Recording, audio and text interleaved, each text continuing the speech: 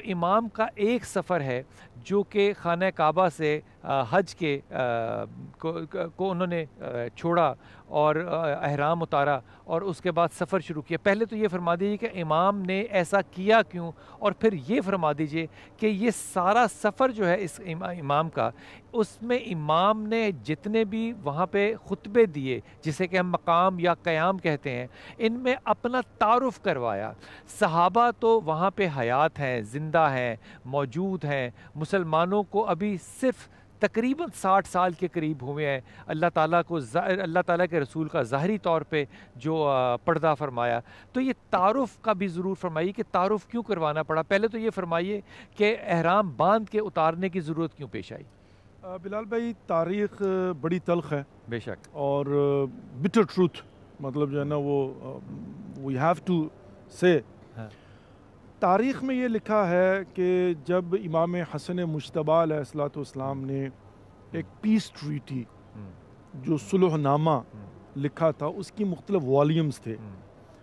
اور اس میں سے ایک والیوم یہ تھا کہ یہ یہی بات ضرور یہاں پہ سامعین کو بتائیے کہ جب آپ پیس ٹریٹی کے لیے کہتے ہیں تو امام حسن علیہ السلام جو ہے یہ اکیلے نہیں گئے۔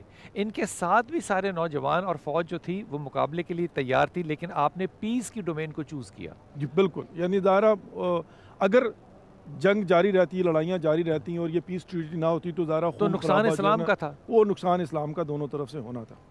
اب بہت ساری وجوہات جس کی وجہ سے امام حسن مشتبہ علیہ السلام accepted to sign a peace treaty اس کے اندر واضح طور پر جو ہے وہ جو والیومز تھے اس میں ون آف دیم کالم یہ تھا کہ امیر شام جو ہیں وہ اپنی وفات پر اپنے جانشین کا تعین نہیں کریں گے۔ مطلب وہ لیو اپون دی اما to decide who is going to be the next اچھا یہاں پر یہ ہوتا ہے کہ انہوں نے اپنی زندگی میں ہی یزید کے لیے بیعت لینا شروع کر دی تھی۔ اور یہاں پر باقاعدہ سے یہ بھی ملتا ہے کہ جب ملاقات ہوئی ہے امام حسین علیہ السلۃ والسلام کی، تو ان سے شکایت کی، کہا کہ آپ یزید کے متعلق جو ہے نا وہ بری باتیں کرتے ہیں۔ حالانکہ اس نے کبھی آپ کے متعلق کچھ نہیں کہا۔ تو امام کا سمپل جواب یہ تھا کہ جو میں کہہ رہا ہوں وہ سچ ہے۔ اور چونکہ میرے کردار میں جھول نہیں ہے تو وہ کچھ کہہ ہی نہیں سکتا۔ مطلب ہاؤ ول ہی آبجیکٹ چونکہ میرے اندر کوئی آبجیکشن ہے ہی نہیں۔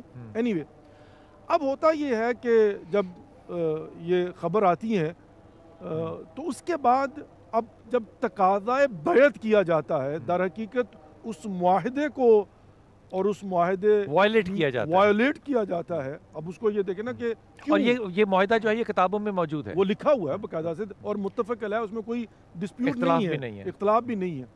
اب جب اس معاہدے کو وائلیٹ کیا جاتا ہے تو پھر ڈیفینیٹلی امام حسین علیہ السلۃ والسلام ریئیکٹ کرتے ہوئے اپنا وظیفہ سمجھتے ہیں کہ وہ اب مدینے کو چھوڑ کر اس راستے کا انتخاب کریں۔ اچھا اب اگلی بات آتی ہے کہ جب امام حسین علیہ السلام ڈیسائیڈڈ ٹو لیو تو یہاں پر امام حسین علیہ السلام نے دو کام کیے ہیں، کم از کم۔ ایک اپنی پوزیشن کلیئر کی ہے اور دو بے نقاب کیا ہے یزید کو، اس کے کردار کو۔ اور واضح الفاظ میں کیا ہے، اپنی زبان میں کیا ہے۔ چونکہ بعض اوقات یہ پرابلم ہوتی ہے کہ بعض بزرگان جو ہیں، مقدس شخصیات جو ہیں وہ اگر خود خاموش رہیں تو کہنے والے کہتے ہیں انہوں نے تو اپنی زبانی کچھ نہیں کہا آپ کون ہوتے ہیں؟ وہ صاف کہہ دیتے ہیں۔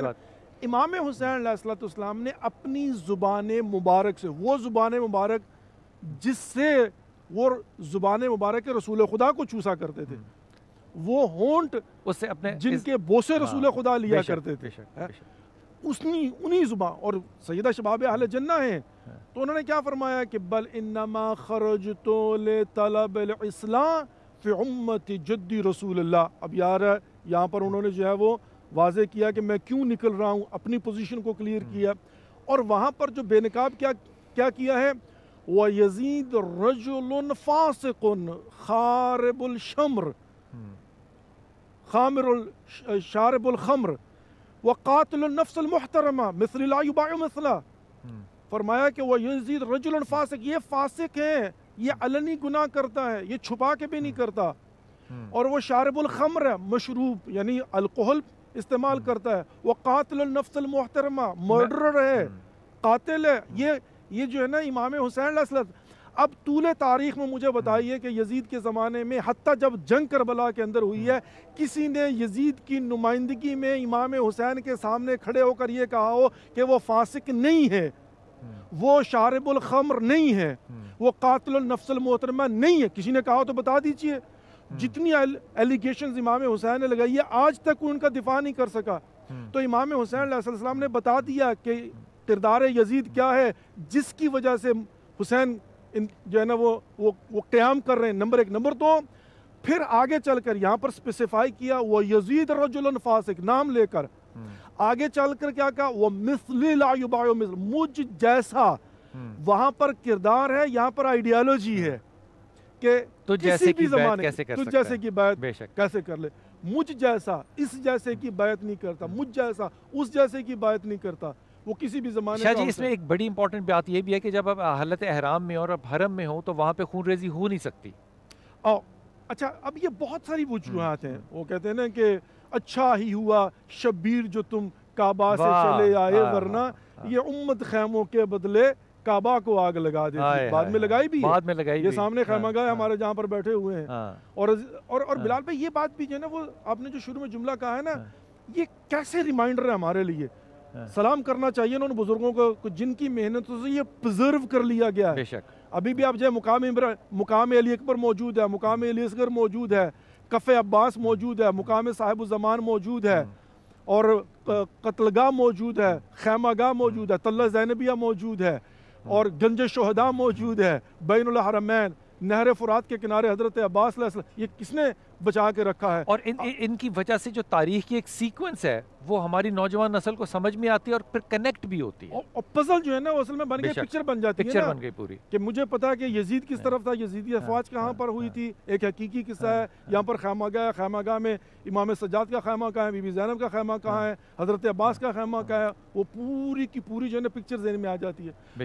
تو یہاں پر جو ہے نا وہ ہم دیکھتے ہیں کہ بہرحال یہ سارے کا سارا جو تاریخ کے تناظر میں امام حسین علیہ السلام کا قیام ہے ابتدا امام نے کی اور آج تک وہ جاری ہے ساری ہے امام حسین کے ہی نور کی سپرویژن کے اندر اور آج بھی بالکل وہ مومنٹ جو ہے وہ چل رہی ہے اور ڈیفینیٹلی متصل ہوگی آج بھی حق اور باطل کی جنگ جو ہے وہ یہی ہے کہ حسینی کون ہے اور یزیدی کون ہے میں چھوٹے سے وقفے جاؤں گا اور یہ بات عرض کرتا چلا جاؤں کہ جب بھی ایسے حالات اور واقعات آپ ہر سال جو ہے، ہر سال تو نہیں آپ کو ہر روز کرنے چاہیے، وہ ذہن میں رکھیے گا کہ اللہ تعالیٰ نے نماز پڑھنے کا حکم دے دیا، وہ فرض ہے۔